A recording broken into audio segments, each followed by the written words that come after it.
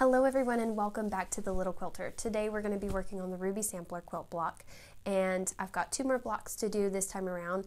I do want to show you guys two blocks that I finished last time. It was whenever I lost all of my video footage so I don't have any footage of me making these blocks but I wanted to show them to you anyways. The first one is this sawtooth square quilt block and it turned out pretty nicely. We did a, I don't remember what this is actually called but we did this block by showing, sewing half square triangles together, cutting it, and then sewing those together to make the actual points of the star, which makes it look really complicated, but it wasn't that bad. The other block that I did is a churn dash block with a nine patch in the center. And this one really turned out nicely. I really feel like that nine patch block just levels up this churn dash. So points turned out pretty good. I'm pretty happy with it overall. So now let's jump to something that I can show you guys and we'll get started on the next blocks for our Ruby Sampler quilt. As always, I hope you guys like, subscribe, enjoy the video, leave comments down below, and let me know if you have any thoughts. Let's get to quilting. Okay everyone, so what we've got here is we're going to lay out all of the blocks and squares that I'm going to use for this quilt here and we've got several pieces. So these are the fabrics that I'm going to use. The first thing that we're going to start doing here is actually doing a flying geese four at a time. And this quilt series has used flying geese a lot. And so I have really been using my wing clipper, which is what I use to sort of make my straight line and then sew on either side and then you're going to take your rotary cutter, cut that in half, and you're left with these two pieces. So these are essentially sides of your flying geese here. Then you're going to take those, go ahead and iron them open into little heart shapes, basically is what they kind of look like. And if you can imagine another piece in the center of that heart, at the very base of it, you would be able to see the flying geese there. So that's the next part that we're going to do here is taking another one of our small squares and putting it on there, drawing a center line over the top of it from corner to corner, and then that's going to give us our line to sew a quarter of an inch away. If you're having issues with your flying geese coming out too small, what I would recommend doing would be cutting your fabrics an eighth of an inch larger and then um, doing a scant quarter inch seam across both of those. And that way, what you end up with is, is a block that's a little bit bigger. And so when you go to cut it down, you're going to find it a lot easier. So here again, we're going to cut along the line, and I've sewed a quarter of an inch across either way. And that's going to give us actually our four flying geese block. So we just want to go ahead and iron these open. You also want to be careful when you're ironing these blocks because you don't want to accidentally move that bias edge. And so I like to do a press down to set the seam, a finger press open, and then just set the iron on top of it. If I'm moving the iron, I'm actually picking it up and moving it. It's hard to see on the video that I'm doing that, but you don't want to be moving it across because that's an easy way to distort your block. Now, once you've got all of these done, the next step is to trim these up. And I like to use the wing clipper trimmer, and I'll link that down below for you guys. I've linked it before, but you just line it up. The nice part about the wing clipper is it can do a myriad of blocks from, I believe, up to a five and a half by ten and a half flying geese block, which is really nice. They, a lot of people like to use the Bloc Loc rollers, which are nice because they kind of have grooves that set into the seams that you've done, and you get a really nice trim that way.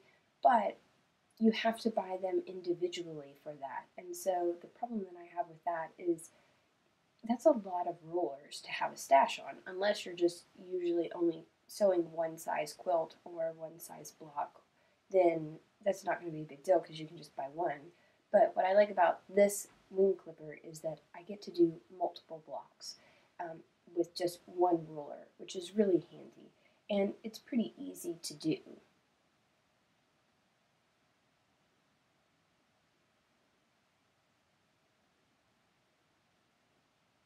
So we'll get this last block cleaned up on the edges. It's also nice because it makes really nice clean edges whenever you're able to trim your blocks down. That's another reason why I like to cut all of my blocks a little bit larger, that eighth of an inch larger than what I actually need. So now we have all of our flying geese done and ready to go. And we can then actually start to set out for our first small block. So these kind of make block, these blocks are kind of blocks within blocks. So this is going to be the next part here. So this is making our little sawtooth block. And those make, that's where the flying geese make the points. And then we're going to do the edges here. The one thing I will say with doing a four at a time flying geese block is that you, if you have directional patterns, all of them are not going to be in the same direction. In this case, it worked out because I was able to take the blocks that had gone vertical and line them up, and I was able to take the blocks that had gone horizontal and line those up so that all of my fabric is actually going in the same direction, which ended up looking really nicely. Um, and then on my corner blocks, lining those up so that they were still going into the right direction. And then we're just going to go through here and do a quarter inch seam or that narrow quarter inch seam. And I like to do my blocks such that I chain sew them and I will then come back and press all of them.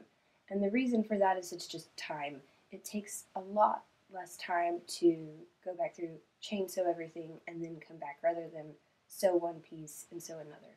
Here I'm showing you where I cut my blocks an eighth of an inch bigger and so I try to, when I'm sewing these on there, be consistent about where I'm at. So whenever I go to cut my block, it's consistently bigger on the outside versus the inside, and that's going to make help your blocks look really good too. Now, you could cut your blocks bigger for like the flying geese, and then for the blocks that are going to be more center, so the center block that we're not actually sewing, you know, we're just sewing our flying geese too, and your corner blocks, you could cut those to size and I think that that would be fine. But for me, it just gives a little bit more wiggle room to have that little bit of edge to work with. Then whenever I press these blocks, as usual, if you're if you're new to quilting, then that might be something to think about. But you want your seams to nest together on the back of this block, and so pressing them either the top ones out and then the center block in, or the other way around, the top one's in and the center block out. Whatever works for you is the way that you're going to do. I do go ahead and pin my blocks as well. I like to pin them for for the seams. I find that I get a better seam. I don't get movement like I would get on other ones. Now, you could go through and you could pin on either side and then sew it, but I didn't do that in this instance. So what I'm doing here is I've already sewn the other side. I'm going to now line up my seams here, set my pins in there. I only use pins on the seams. Some people will pin across the whole thing.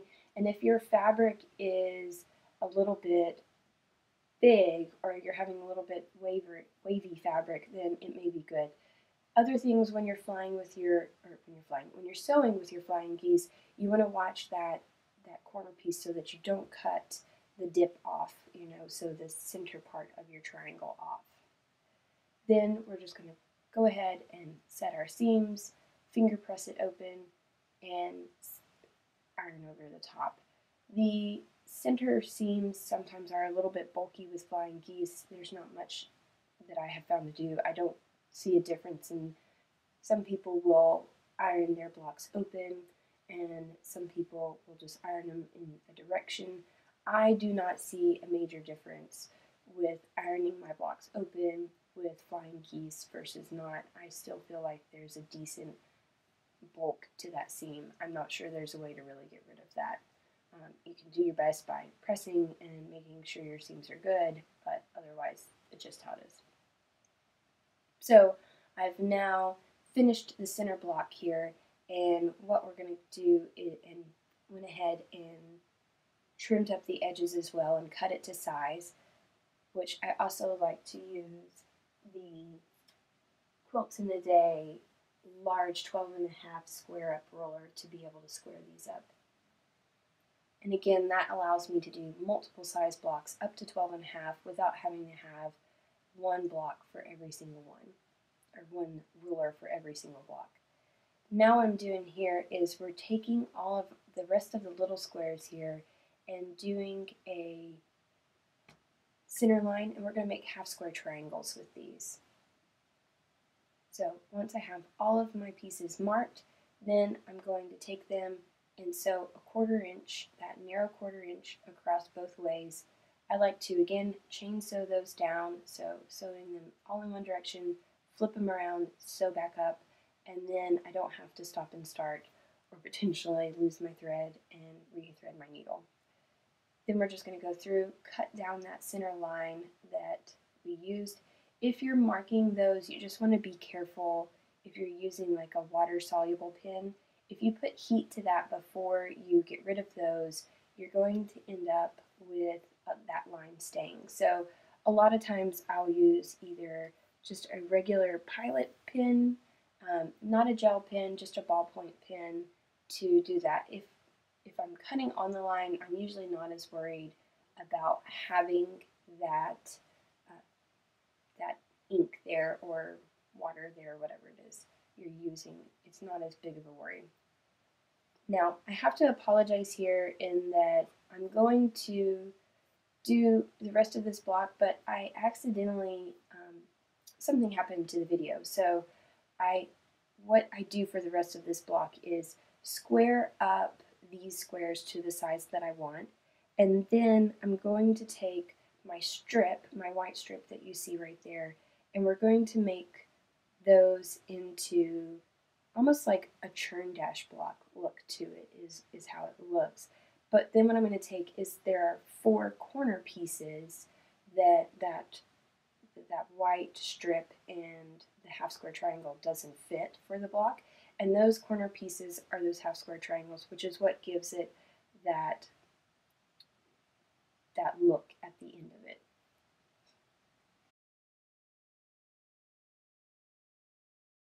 You do want to make sure that you take care with your placement of your blocks. And so you see I have those blocks on the edge there, and those are the blocks that are going to be my corner pieces. So I did lose video here, so I apologize for that, but I will show you the block at the end. All right, everybody, that is this block completed for us. It turned out pretty okay. The points a little bit are off, but overall everything turned out good. It was mainly this top part. The rest of the square, so the center block, is spot on perfect. And these sideline blocks are as, are as well, but it was this top block that gave me a little bit of trouble whenever I was doing it. So, but overall, very happy with it. I think it worked out well. And now we're ready to move on to the next block, okay? So, let's jump into that. I've got all the pieces cut already. Here we go. Okay, what we're doing here is setting out all the pieces again so I can just show you all of the fabric that's going to be used for this block. And there's quite a few different fabrics in this one. I am really most in love with the fabric, it's called potpourri, I believe, that has all of the flowers on it. I just think they're really, really beautiful. So starting out again, as I told you before, there are a lot of flying geese in these blocks. Um, in this across this whole quilt, I feel like I've done a ton of flying geese. And the good part about that is if you're not used to doing those, it's really nice because once you finish a quilt that does a lot of one block, you've really started to be able to achieve that block and do that block in a really nice manner. So again, we're doing the four at a time. You could do these individually if you wanted to, where you cut the pieces and sew one block at a time, but it is a lot faster to do it this way. And I find that again, with cutting my fabric an eighth of an inch larger and doing a narrow quarter inch seam, I feel like my flying geese blocks, that has been the best way for me to acquire a really good sized piece block, a block that is actually the size it's supposed to be at the end. But doing whatever works for you. So if you're not good at four at a time, you like doing them individually, then I would go for that. There's also, I'm sure, another way, I can't think of it right now, of how to do your flying geese. But I think this is one of my favorite ways to do it. So here we are again on the heart shape, placing our bottom square, which is going to be the other side of our flying geese, and we're going to sew a quarter inch seam across that, doing that in a chain, chain piecing method on, on our sewing machine. My sewing machine I use is a Brother PQ1500 SL, in case you were wondering. Uh, it was a Christmas gift several years ago, so it was quite the upgrade from just my little standard Singer sewing machine. I wanted that sewing machine because I was able to actually do free motion quilting on it before I got my long arm machine. It had a wider throat than my Singer machine. Again, whenever you're back to this, whenever you're ironing, remember you want to try and not distort your blocks. So now we have all four of our blocks. You want to just press, pick up, press, pick up, press, and that will help to not distort the biased edge. And then we're going to go through using the wing clipper and trim these blocks up. Basically, you line it up with the point, uh, the point of the triangle, and then and cut. And then whenever you flip it around, you're able to line it up with the edges of that block. So I've got all four of my flying geese. I'm going to pick those up, set those aside for the moment. The next step is we're going to make that block. So getting my center block, going through here and placing my flying geese around it, which makes it have this square and a square. And then we're going to take one of my favorite fabrics of the whole quilt and put these corner pieces on there. And I think that just looks really pretty, honestly. I love the way it looks. Now, I don't know that I did the greatest of sewing on this block. I feel like my, uh, my flying geese making that corner in a corner didn't end up as as nice as I would like. But in the overall grand scheme of things, when people are looking at this quilt, they're not going to, to notice that. Oh, I did have a mess up here. So when I was cutting my thread in between those blocks, I actually didn't, I accidentally cut the actual fabric. So I did have to un unstitch this portion here and use my seam ripper and take this block off. I got another piece of the fabric and cut it to size and was able to then put that one on. I did cut this one since I was going ahead and just sewed on there. I cut it to size of what it was supposed to be and didn't go an eighth of an inch larger than, than I was I normally would. So now that we got that on there, we're able to go ahead and sew all of those together and with magic here. Oh yes, that's right. What I want to do first is you want to iron those so that you're not sewing together a bunch of lumpy fabric. So uh, again, whenever I am doing this, you want to be consistent so that it helps you to remember. So sewing the top and bottom blocks, and I am pressing the seams to the outside, and on that center block, I am pressing the seams to the inside, and this is going to help my blocks to nest together better so that hopefully you get a better sew, you get a better seam, you get a, a, a stronger bond, as well as your blocks are the size that you want them to be. I really think this block by itself is really pretty. So, I mean, if you were, it's not, it's only, I think it's only eight and a half inch square, so it's not a very big block, but I think it would be a really pretty block just on its own. Like, even if you did a whole quilt like that, that sort of square in a square, Maybe it's just the fabric. So this time around, what I'm going to do is sew both sides together in sort of a chain sew fashion rather than sewing one, coming back over, pinning, sewing one. And this just sort of makes it more efficient when I'm at my sewing machine.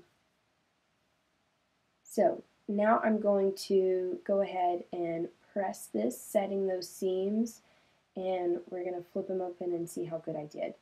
So I feel like the bottom one here is not too bad. That left side is probably the best side. The right side, I, I can see a little bit.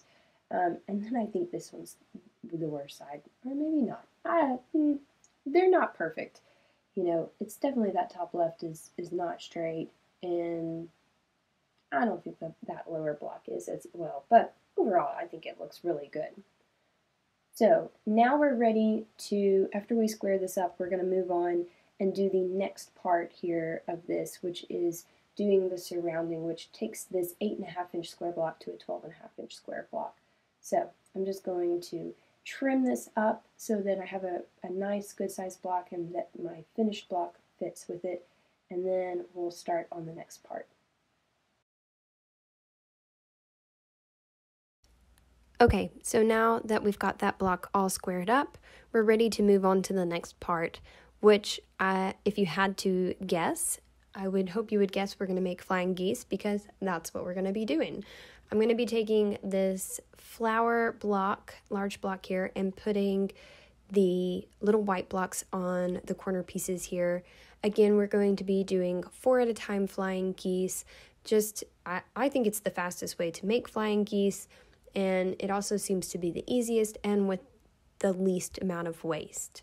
So, doing as we always do, uh, making a line down the center line and then sewing a scant quarter inch seam on either side of that line, and then we're going to cut down the center line. Once we've made our cut down the center, we'll go ahead and iron these blocks open into what I like to consider the heart shaped block. And this is the block that we're then going to use to go ahead and put our last white little block on and sew a quarter inch seam down either side of midline to finally make our four flying geese for this block.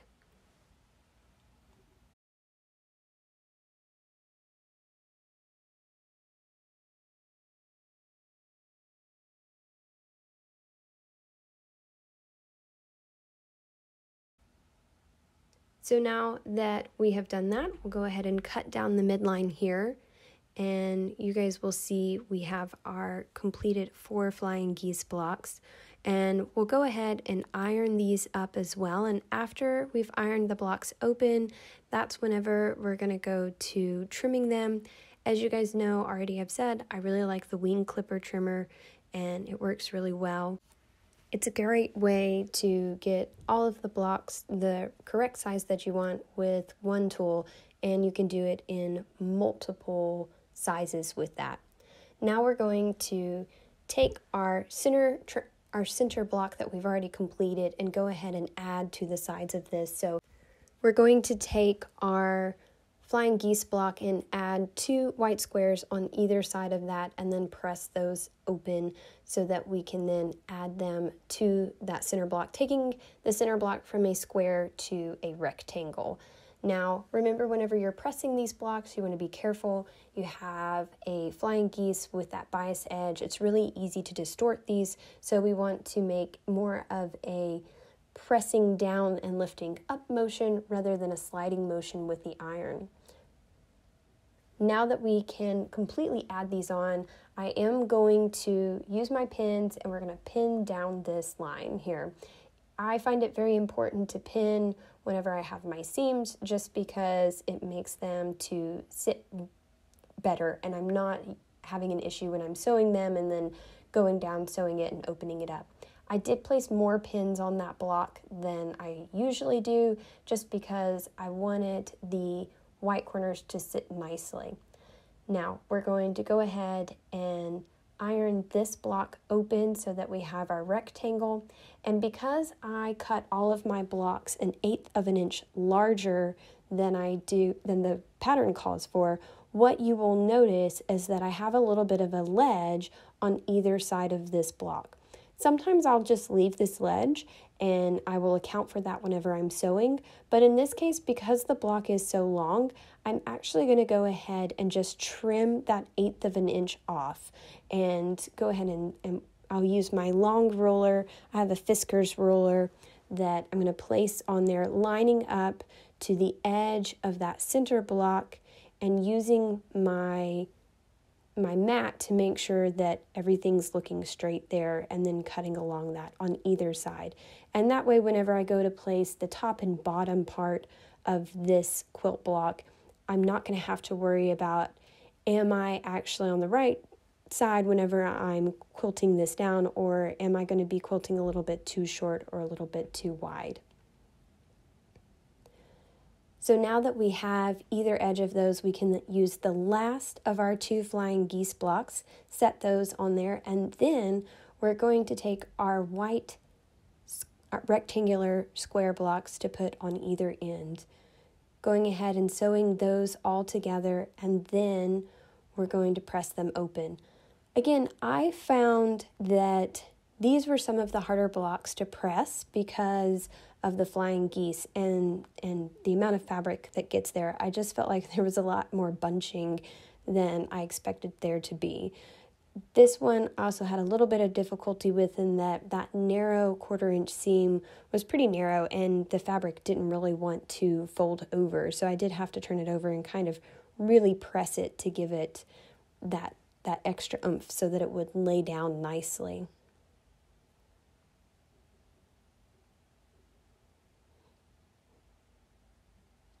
Once we get these two top and bottom lines ironed, we're going to go ahead, lay them next to our block, and I always like to lay my block out and make sure that it is set up right before I start pinning, just because you don't want to have the wrong block in the wrong place and then go ahead and sew it and be stuck with something that just isn't correct. Again, I'm going to place some pins here, and I did end up, I start from the middle of my block of putting those pins in, and then I extended out this time, just because again, this was a really long block. Now we're going to go through here and we're going to press this block open, and we are almost finished, guys, with this block and with this actual month of block of the month kit that we got here. So pressing outward. Again, I am lifting my iron up as I go and not sliding it along the fabric so that we don't distort any of the fabric. Doing a finger press before I get down there. And then I'm just doing a nice all over. So there are a lot of seams in this block, in my opinion. Um, it's what makes it look so intricate and beautiful, but it also can make it a bear to go ahead and square up because those blocks want to hold your ruler up. And now we're going to cut that last little bit and we'll have this block completed.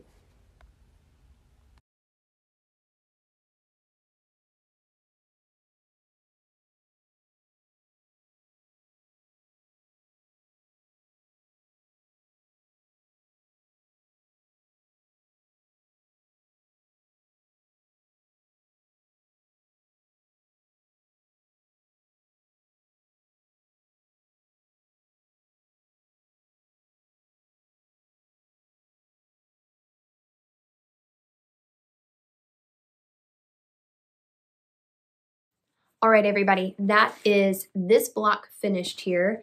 And I love how it turned out. I love the corner pieces and the intricacy. I also, this fabric right here is some of my favorite favorite fabric of the entire quilt. So I really like seeing this block with all of that on there and it looks really intricate, but as you guys saw, it was really not that difficult to put together. A lot of flying geese, which has been a common theme in this entire quilt series, but I really love how it looks and I love that it is almost on point, which is nice. You know, that makes it look to me a little bit more intricate. The other block that I completed, and I apologize for the filming issues with it, but was this block as well. And the one thing that you guys did not see was I completed these three blocks right here, sewed those together and made a total of four of them going all the way around the quilt and sewed one to either side of the quilt and then across the top and the bottom added an extra corner block here which gave this really cool sort of almost like a flying geese pattern. Um, I'm sure that there is a, I'm sure there's a quilt name for that, but I don't know it. But it looks to me almost it gives a churn dash style quilt feel, quilt block feel to me, but it's not with the star, so I just find it a really neat block. Anyways, I hope that you guys enjoyed this one. I know that we're moving through this. I think I've only got a few left. Um, let me know if you guys are enjoying this new style of filming, if you like me going through it a little bit more slower and showing you what I'm doing, or if you would rather just have the sort of fast go through of the entire uh, quilt block and sort of just me piecing it together with no information um, and no background talking as well. So I'm happy to do either way. Certainly this way does take a little bit more time, which is why I've been a little bit late in putting out the film or this video, but I hope that you guys really enjoy it. And as always, don't forget to give me a like, a thumbs up, subscribe, comment down below, do all of those things. And we'll see you next time on The Little Quilter. Have a great day. Thanks, guys.